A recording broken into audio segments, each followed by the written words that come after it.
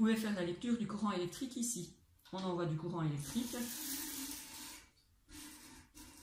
et on voit en effet que la balançoire est poussée vers l'extérieur. On peut maintenant changer le sens du champ magnétique en retournant l'aimant, c'est facile.